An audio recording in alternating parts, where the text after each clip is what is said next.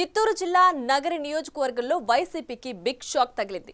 ఆ పార్టీ పుట్టినప్పటి నుంచి నగరిలో అన్ని తామై వ్యవహరిస్తూ వచ్చిన నాలుగు మండలాలకు చెందిన కీలక నేతలు అక్కడి ఎమ్మెల్యే మంత్రి ఆర్కే రోజారెడ్డిపై వైఖరితో విసిగిపోయి వైసీపీకి గుడ్ బై చెప్పి సైకిల్ సవారికి సిద్ధమయ్యారు. పార్టీ అధినేతతో తమకు ఎలాంటి విభేదాలు లేవని కేవలం మంత్రి రోజా మీద వ్యతిరేకతతోనే తాము వైసీపీకి దూరమవుతున్నట్లు ప్రకటించారు. గత రెండు సార్లు రోజా విజయానికి సహకరించిన ఆ నేతలు సరిగ్గా ఎన్నికల ముందు ప్రత్యర్థులుగా మారడం ఆమెకి పెద్ద ఎదురుదెబ్బే అంటున్నారు.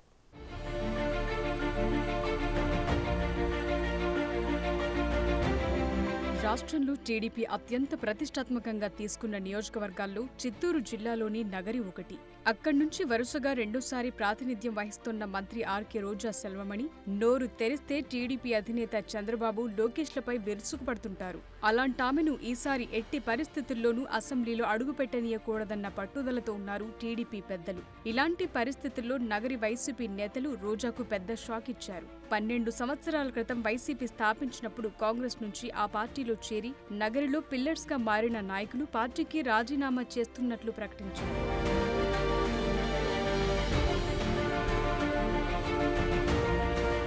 నగరి నియోజకవర్గంలో పరిస్థితులు విభిన్నంగా ఉంటాయి. రాష్ట్ర వ్యాప్తంగా ప్రభావం చూపే అంశాలు సెంటిమెంట్స్ ఇక్కడ పనిచేయవు. తమిళ మొదలియార్లతో పాటు చేనేతలు రైతులు ఎక్కువగా ఉండే ప్రాంతం నియోజకవర్గాల పునర్విభజన తర్వాత జరిగిన ఎన్నికల్లో నగరి నుంచి టీడీపీ అభ్యర్థి గాలి ముద్దుకృష్ణమనాయుడు విజయం సాధించారు. వైసీపీ ఆవిర్భావం తరువాత గాలిని రోజా ఓడించారు. అప్పట్లో మెజార్టీ కేవలం ఎనిమిది వందల ఓట్లు గాలి ముద్దుకృష్ణమనాయుడు నిర్లక్ష్యంతో ఓటమి పాలయ్యారని అంటారు. తరువాత రెండు వేల పంతొమ్మిదిలో కూడా గాలి భానుప్రకాష్ పై రోజా విజయం సాధించారు. అప్పుడు కూడా రోజాకి దక్కింది రెండు వేల ఏడు వందల ఎనిమిది ఓట్ల మెజార్టీని. అంటే నగరంలో ఏ పార్టీకైనా క్షేత్రస్థాయి నాయకులు ఇక్కడ ఎంత కీలకమో అర్థమవుతుంది.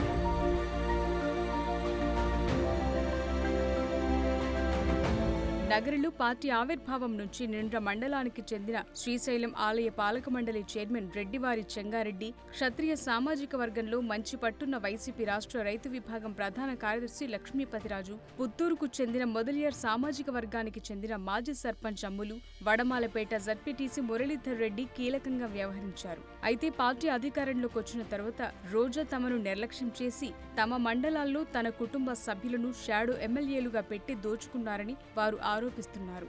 రోజా ఈసారి గెలిచే పరిస్థితి లేదని తాము మొత్తుకున్న అధిష్టానం పట్టించుకోలేదని అందుకే తమ నిర్ణయం తాము తీసుకున్నామంటున్నారు. మా అందరికీ డబ్బులు ఎర చూపించింది అనుకుంటే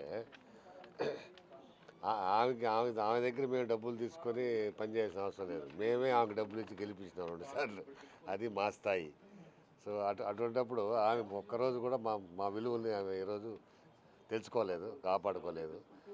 మాతో కూడా మా మా మాటలు నమ్మి మా పార్టీతో కూడా ఉండి రాత్రి మగుళ్ళు మా వెనకాల ఉండి లీడర్లు కానీ కార్యకర్తలు కానీ ఇంత కష్టపడి రెండుసార్లు గెలిపిస్తే ఒక్కరోజు కూడా వాళ్ళకు మంచి స- స్థానం కల్పించలేదు. ఈ సబ్స్టేషన్ల విషయాల్లో కూడా ఒక రెండు పోస్టింగ్లు వస్తే ఆ రోజు నన్ను పిలిచి అన్న సత్యవేళ్ళు ఎనిమిది లక్షలు తీసుకుంటున్నారన్న నాకు ఆరు లక్షలు తీసేయండి ఏం మా బుద్ధి ఉందా ఏం నేను ఎప్పుడో చెప్పిన లోకల్లో వచ్చి ఎన్ని చేయొద్దన్నమ్మా చెంగారి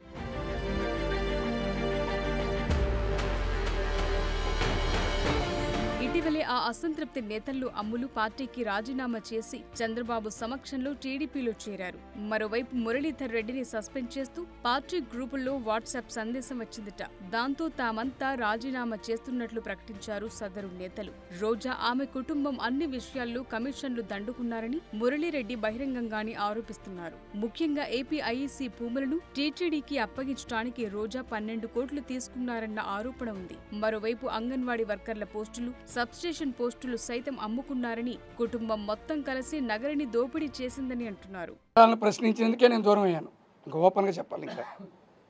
అమ్మా మనకు ఓటేసి మన ఓట్ బ్యాంక్ కాంగ్రెస్ నుంచి వైసీపీకి వచ్చారు ఎస్సీ ఎస్టీలు. వాళ్ళంతా కాంగ్రెస్ పార్టీలో ఉన్నాళ్ళు. వైసీపీలోకి వచ్చారు. మనం మనం నమ్మిన ఓట్ బ్యాంక్ అది. ఆ ఓట్ బ్యాంక్ వాళ్ళని కానిస్టిట్యూషన్లో గతంలో ముతుకృష్ణాయుడు ఉన్నాడు చెంగారెడ్డి ఉన్నారు. వాళ్ళు ఎవరు ఓట్లు వేసిన వాళ్ళ దగ్గర చేజార్చిన దాఖలాలు లేవు. అటువంటి పని మనకు వద్దు అన్నా అదే నేను చేసినటువంటి తప్పు. ఆమె మీరు ఇప్పుడు ఇంత ముందు ఆరోపించారు అన్నిట్లోనూ మామూలు తీసుకుంటున్నారని. కానీ మీరు ఎందుకు మీరు అధిష్టానం దృష్టికి విషయాన్ని తీసుకెళ్ళారు? తీసుకుపోయాము. వాళ్ళేమో స్పందించడంలా మేమే విసిగిపోయినాం.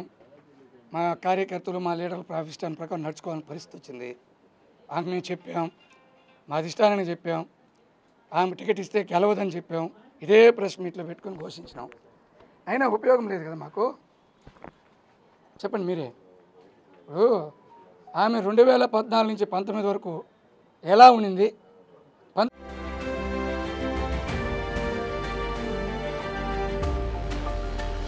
పార్టీ పట్ల విధేయతతో తాము కష్టపడి రోజాను గెలిపించామని అయితే గెలిచిన తర్వాత అది సొంత ప్రతిభలాగా రోజా భావిస్తున్నారని ఆమె తీరుపై అధిష్టానం దృష్టికి తీసుకుపోయినా ఫలితం లభించలేదని అంటున్నారు. ఆ క్రమంలో రోజా వైఖరితో వెసిగిపోయి వైసీపీకి రాజీనామా చేశామని త్వరలో టీడీపీలో చేరతామని మీడియా ముఖంగా ప్రకటించారు. ఎలక్ట్రానిక్ ఈ మన సర్వేల్లో కూడా అన్ని చోట్ల కూడా పార్టీ సర్వేలో కానీ అదర్ సర్వేలు కానీ ఎక్కడ చూసినా కూడా ఆమె గెలవదని చెప్పి చెప్పన్నారు. అవి మా ఉండే కష్టపడి కార్యకర్తలంతా ఇబ్బంది పెడుతున్నారు కాబట్టి అభ్యర్థిని మార్చమని చెప్పి వారి దృష్టికి తీసుకుపోయినాం. ఆయన పైన ఫలితం లేదు. కాబట్టి ఇప్పుడు ఆమె వల్ల నగిరి నియోజకవర్గం ప్రజలు వైఎస్ఆర్ కాంగ్రెస్ పార్టీకి కష్టపడి పనిచేసిన నాయకులకు కార్యకర్తలకు చాలా ఇబ్బంది కలిగింది కాబట్టి మా పార్టీ కార్యకర్తలు నాయకులు అందరూ కూడా ఆమె పనిచేయడానికి సుముఖ సుముఖంగా లేరు.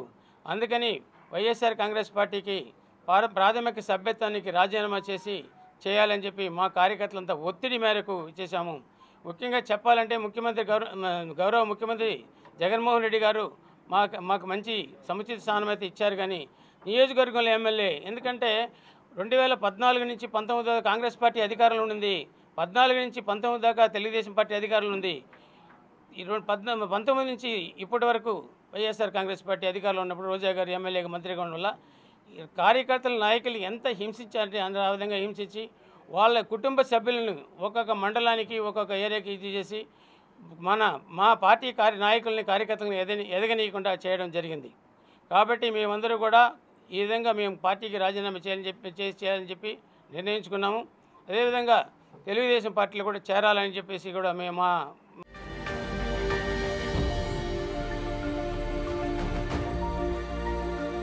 మొత్తం మీద గత ఐదేళ్ళుగా నిబురుగప్పిన నిప్పులా ఉన్న అసమ్మతి ఎన్నికల పోలింగ్కు ముందు బయటపడింది. ఇది తెలిసే రోజా స్వయంగా వెళ్ళి చక్రపాణి రెడ్డితో మాట్లాడటానికి ప్రయత్నించినా ఆయన అంగీకరించలేదట. ఉగాది రోజు ఆయన్ను కలవటానికి రోజా వెళ్ళగా ఆయన కలవడానికి ఇష్టపడలేదట.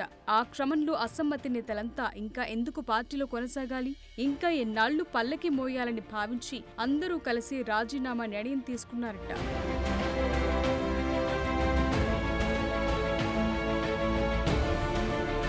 మొత్తం మీద నగరిలో టీడీపీకి ఈ పరిణామం మరింత బూస్టప్ ఇచ్చిందంటున్నారు. రోజా యాంటీ టీం చేరిక తమకు మరింతగా కలిసి వస్తుందని కార్యకర్తలు ఖుషి అవుతున్నారు. పుత్తూరు నిండ్ర బడమాలపేట విజయపురం మండలాల్లో పట్టున్న సదరు రాకతో టీడీపీ బలం పుంజుకుంటుందన్న అభిప్రాయం వ్యక్తమవుతోంది.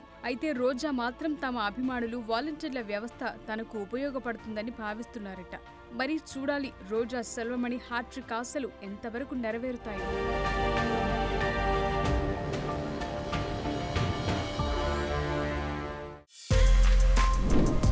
For more videos like this, subscribe Big TV channel